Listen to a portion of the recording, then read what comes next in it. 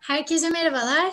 Combating with Hazards Through Olympic Values e, e, Brüksel merkezli projemiz kapsamında e, Türk okçuluğuna inanılmaz değerler ve katkılar sağlamış olan Pekin e, 2008 Okçuluk Paralimpik Şampiyonumuz Sayın Gizem Girişmen'le birlikteyiz bugünkü röportaj serimizde. E, bizi kırmadığınız için ve gerçekten e, yoğun programınızda bizi de araya sıkıştırdığınız için Türk Spor Vakfı Projeler Yönetim Ekibi adına teşekkür ederim. Rica ederim. Herkese merhaba. Merhaba. E, çok vakit kaybetmeden e, ısınma sorumuzla başlamak istiyorum. Bizler sizi tanıyoruz ama e, siz kendinizi tanıtırken belki farklı olgulardan, farklı kimliklerden bahsedebilirsiniz, bahsediyorsunuzdur. E, Gizem Girişmen kimdir? Bize kendinizi tanıtabilir misiniz? E, ben 25 Kasım 1981 yılında Ankara'da doğdum. E, ve ilkokulu bitirdiğim yaz bir trafik kazası geçirdim. E, o trafik kazasından sonra omurilik felciyim ve tekerlekli sandalye kullanmaya başladım. E, kazadan önce aslında ağırlıklı olarak kış sporları yapıyordum. Kayak ve buz pateni. Kazadan sonra da yüzmeyle devam ettim. Ankara Özel Tevfik Lisesi mezunuyum ortaokul ve lisede. Üniversitede Bilkent Üniversitesi işletme bölümünde okudum ve tamamladım. E, okçuluk da aslında bugün bu röportajı yapmamıza sebep olan e, başarım kaynağı okçulukla da üniversiteyi bitirdikten e, sonraki yıl tanıştım 2004 yılında. Daha sonrasında e, Avrupa üçüncülüğü, dünya şampiyonluğu, paralimpik oyunlar şampiyonluğu gibi çeşitli başarılara imza attım. E, ve e, daha sonrasında IPC'nin e, sporcu konseyine seçildim. Sporcu konsey üyeliği yaptım. 2012 ve 2016 yılları arasında seçildim. Tokyo 2020 oyunlarında artık bu görevimi de devretmiş olacağım. Çeşitli e, kademelerde görevler aldım. Avrupa Paralimpik Komitesi'nde yönetim kurulu üyeliği yaptım. E, şu an e, doktora öğrenime devam ediyorum. Orta Doğu Teknik Üniversitesi'nde beden eğitimi ve spor bölümünde doktora öğrenimime devam ediyorum. E, bu şekilde. Teşekkür ederiz. Çok e, büyük deneyimleriniz ve başarılarınızın olduğu bir hayat. Yani. E, e, şimdi ise sizi spora teşvik eden, e, aktif spor hayatınıza başlama sürecinizle ilgili bir soru sormak istiyorum. Üniversiteden şeref derecesiyle mezun oldunuz ve e, tekrardan spora başlamak istediniz. Sizi spora teşvik eden şey neydi? Motivasyon kaynağı, kaynağınız neydi? Aslında bunun çok kısa bir cevabı var e, sporun insan hayatına, insanın yaşamına getirdiği o güzel enerji, o olumlu, pozitif enerji beni her zaman spora çekmişti. E, küçük yaşlarımdan itibaren spor yapıyorum. Hiçbir zaman kesintiye uğramadı. Evet farklı sporlar yaptım. Kayak, buz pateni, yüzme, okçuluk gibi. Ama hepsinin ortak özelliği benim hayatıma getirdiği o yaşam enerjisi ve motivasyondu. Bu sebeple tekrar e, geri döndüm. Teşekkürler. Peki e, ani bir şekilde, daha doğrusu hızlı bir şekilde okçuluğa başladınız ve 4 yıl içerisinde paralimpik olimpiyat şampiyonu oldunuz. İlk ok attığınız zaman e, neler hissettiniz? Neden? Aslında benim e, ilk okum karavanaydı e, ve e, sanılanın aksine öyle çok başarılı bir e, ok atmadım ilk denememde. Dolayısıyla e, belki de o başarısızlık beni e, okçuluğun içine çekti. E, ama bütün sporların ortak özelliği gerçekten insana e, çok güzel hedefler koymayı sağlaması, e, kendinizle yarışabilmeniz. O anlamda e, o ilk ok belki de başarısızdı ama e, çok güzel e, bir yolda ilerleyebileceğimi gösterdi bana. E, ve o andan itibaren okçulukta devam etmeye karar verdim aslında spor e, başarı ve başarısızlığın çok ötesinde bir olgu. Evet belki ilkokum e, karavanaydı, güzel gitmedi ama e, başarı ve başarısızlığın çok ötesinde arkadaşlıklar kurma, benim o gün o ok attığım kulüpteki arkadaşlıklarım, bundan keyif almam aslında benim okçuluğa başlamamda ve devam etmemde çok önemli bir unsurdu. bu sebeple ben sporu hep başarı ve başarısızlığın çok ötesinde bir kavram olarak görüyorum. Çok teşekkür ederiz. Okçuluğa başladıktan sonra peki bu güzel verdiğiniz dönütler sporun güçlendirici ve birleştirici özellikle sosyal çevre katılımı alanında verdiğiniz bilgiler ışığında peki spor yoluyla kavradığınızı düşündüğünüz sonrasında da sizin hayatınızda önemli yerlere sahip olan değerlere örnekler verebilir misiniz? Sizin için sporun beraberinde getirdiği değerleri öğrenmek ve kendi hayatınıza yansıtma süreci nasıl gerçekleşti? Bununla da ilgili bilgi alırsak çok mutlu oluruz. Kendi spor hayatımın aslında 2-3 tane örnek vererek e, bunlara cevap vermek istiyorum. Öncelikle hatalarımdan ders almayı öğretti. E, hata yapmaktan korkmamayı, hata yaptıktan sonra o hatalara geri dönüp baktığımda onlardan nasıl dersler çıkartabilirim ve bir sonraki aşamada nasıl daha düzgün planlar kurabilirim bunu öğrendim. 2007 yılında Dünya Şampiyonası'na katıldım. Kore'deydi ve çok başarılı bir yıl geçirdim. Çok teknik anlamda gelişim sağladığım bir yıldı ve favori sporculardan bir tanesiydim dünya şampiyonu olmak adına. sıralama atışlarında birinci sırada bitirdim açıkçası. Herkes benden bir şampiyonluk bekliyordu ben dahil olmak üzere.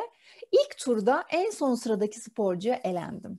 E, tabii ben çok şaşırdım, çok üzüldüm, işte çok ağladım, ettim ama önemli olan aslında orada hangi hataları yaptığıma bakabilmek. Biraz konsantrasyon kaybı e, yaşamıştım ben e, yarışma boyunca. Dolayısıyla konsantrasyonla ilgili neleri düzeltebilirim diye geri döndüğümde çalışmalara başladım.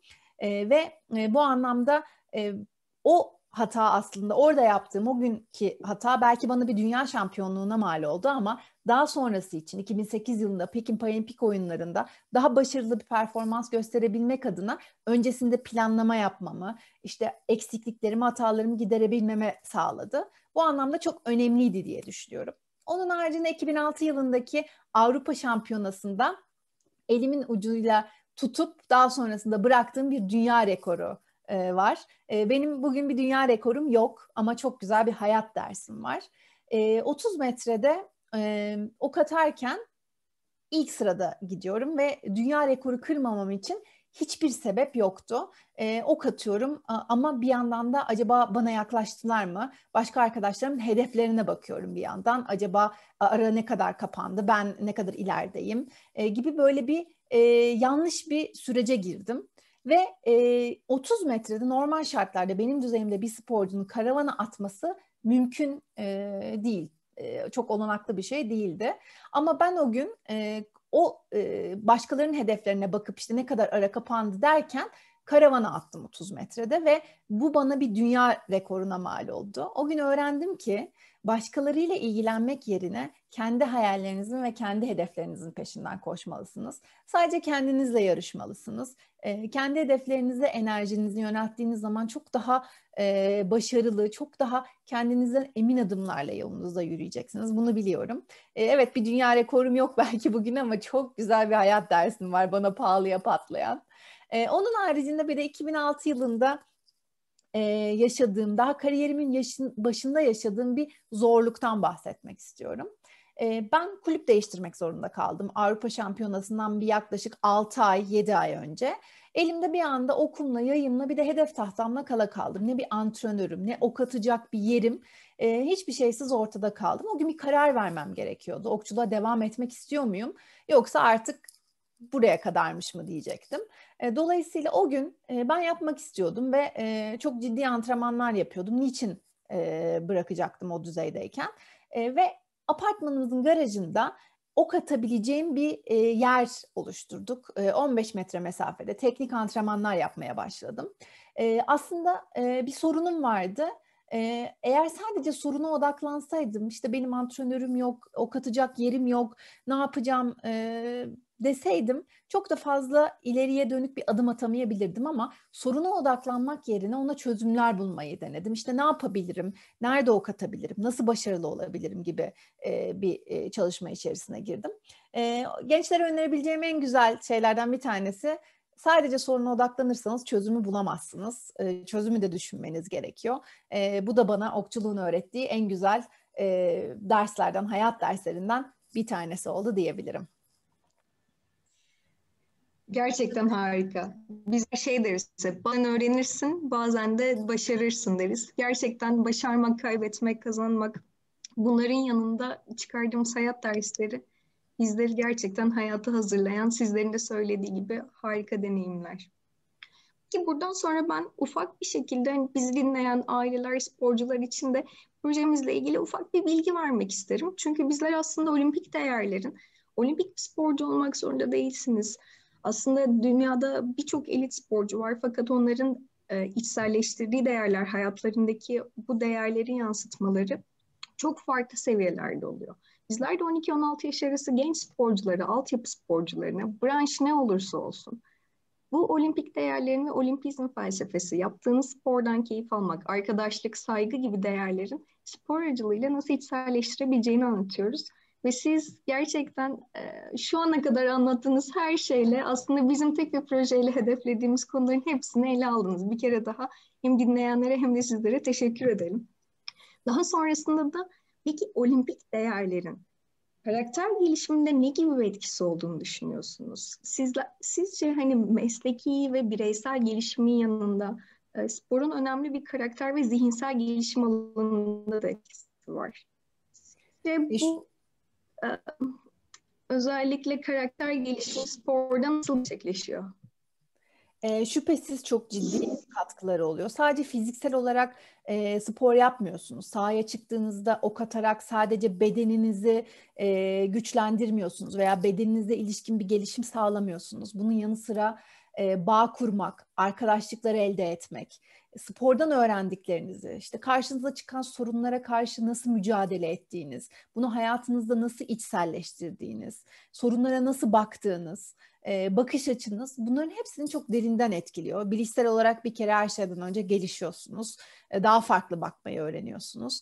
E, bunların çok önemli katkıları olduğunu düşünüyorum. Sporun e, bir gencin hayatında e, sadece işte dediğim gibi sahaya çıkıp e, basketbolsa basketbol oynamak veya işte okçuluksa çıkıp ok atmakla e, bitmediğini aslında bunun yanı sıra e, arkadaşlarınızla takım olmak, onlarla birlikte bir şeyleri başarabilmek, e, karşınıza çıkan sorunlara nasıl çözümler bulabileceğinizle ilgili e, düşünceleriniz, bunları hayatınızda nasıl içselleştirdiğiniz, bunlar hepsi sporun hayatınıza getirdiği, e, içselleştirdiğiniz güzel değerlerden. Çok teşekkür ederiz Gizem Hanım. Bir de bunun yanında ben, ben şu anda listemizde olmayan bir soruyla gerçekten sizlere e, cevabını almak istiyorum. Avrupa Komisyonu özellikle son dönemde ikili kariyer spor alanında elit sporcuların ikili kariyerlerine ne gibi katkı yapabileceğini, aynı zamanda sporun 35 yaşında belki daha sonrasında insanların emeklilik hayatından sonra daha farklı alanlarda yönelmesini sağlamaya çalışıyor. Siz de gerçekten hem üniversite hem akademik kariyer hem de spor kariyerinde o kadar büyük ufuklar açan, o kadar büyük katkılar yapan bir insansınız ki yani bu sorularım arasında değildi ama bunu sormaktan kesinlikle geri kalamayacağım şu anda konuştuklarımız sonrasında. Aslında siz spor ve akademik kariyeri nasıl dengeliyorsunuz? Sizin için beraberinde getirdiği challenge'lar ne? Böyle bir hep şey algısı vardır ya, ya, ya spor yapsın ya akademik kariyerde ilerlesin. Sizin peki gençlere tavsiyeleriniz olur mu bu konuda? Hem eğitim eğitime verdikleri önem hem de sporu bir arada götürmek sizce nasıl olabilir? Ve sizler aslında ne kadar e, bu süreçte sağ çıkabildiniz, dayanabildiniz diyelim. Ee, çok güzel bir soru olduğunu düşünüyorum her şeyden önce. Sporcu e, dediğimiz kişiler aslında sadece e, biraz önce de söylediğim gibi sahaya çıkıp antrenman yapan, yarışan, madalya kazanan insanlar değiller. Hayatın farklı alanlarında çeşitli rolleri olan insanlar. İşte e, kimi zaman kardeş, çocuk, e, bir sürü farklı rollerle bu hayatta devam ediyoruz. Öğrenci. E, ben hayatımda e, çift kariyer olarak yani spor yaparken çift kariyeri bir yere de götürmüş insanlardan bir tanesiyim. Hem çalıştım hem e, sportif hayatımı yürüttüm. Kolay mıydı? Hayır değildi. Ama plan yapmak, hedefler koymak, bu hedefler için fedakarlıklar yapmak gerçekten çok önemli diye düşünüyorum. Ama bu işin kilit noktası plan yapmak, düzgün planlar yapabilmek. Elinizdeki e, niteliklerinizle e, hangi alanlarda ne kadar vakit ayıracağınız, ne kadar e, çaba göstereceğinizi planlayabilmek çok önemli diye düşünüyorum. Kesinlikle katılıyorum. Bir sporcu sadece e, spor yaparak bir yerlere gelemez. Aynı zamanda söyleyecek sözünün olması gerekiyor. Gençlere, topluma, e, o elde ettiği başarıların kendini var etmesi için toplumda e, mutlaka çok güçlü e, bir duruş da sergilemesi gerek diye düşünüyorum. Bunların hepsi eğitimle de olabilecek, eğitimle güçlenebilecek e, özellikler. Dolayısıyla eğitimle spor hayatının birlikte gitmesinin çok önemli olduğunu düşünüyorum. Ben bunu yaptım. E, çok kolaydı demiyorum ama yapılabilir. E, düzgün planlama yaptıktan sonra, hedefler koyduktan sonra e, yapılmayacak hiçbir şey yok bu hayatta. E, zaten e, sporcu olmak bunu gerektiriyor. Zorluklarla hep karşılaşıyoruz ama e, devam ediyoruz. E, son bir şey daha söylemek istiyorum gençlere. Vermek istediğim bir mesaj var. E, vazgeçmemek çok önemli diye düşünüyorum. E, benim e, sportif hayatımdan öğrendiğim en önemli şeylerden bir tanesi vazgeçmemek. E, 2008 yılında e, Pekin Paralimpik oyunlarında madalya aldığında, Türkiye'nin ilk madalya alan kadın sporcusu olduğunda aslında son sete bir puan geride girmiştim ben. Normal şartlarda baktığınızda diğer rakibim benden çok daha avantajlıydı. Ama vazgeçmemek, e, sonuna kadar yaptığınız işi götürebilmek, elinizden gelenin en iyisini yapabilmek için çaba sarf etmek, bunlar aslında zaten sporun e, kağıda dökülmüş e, sözcükleri. O anlamda e, bir puan geride girdiğim bir e, setten e, madalya ile ayrıldım. E, çok daha aradaki bir puan farkıyla ayrıldım. Ama son oka kadar savaştığım için, son oka kadar mücadele ettiğim için, kendime inandığım için e, bunları yapabildiğimi düşünüyorum. Gençlere en büyük e, verebileceğim mesajlardan bir tanesi hayallerinden ve hedeflerinden asla vazgeçmesinler. Çok teşekkür ederiz. Böylelikle de aslında bizlerin size sormak istediği e, son sorunun cevabını almış olduk. Biz bu şeyi teşekkür etmek istiyoruz. Sizin gibi toplumdaki hem ölmüş hem de başarılı kadın sporcuları görmenin bizleri de bir o kadar teşvik ediyor, bir o kadar mutlu ediyor. Umarım başarınız daim olur, yolculuğunuz daim olur.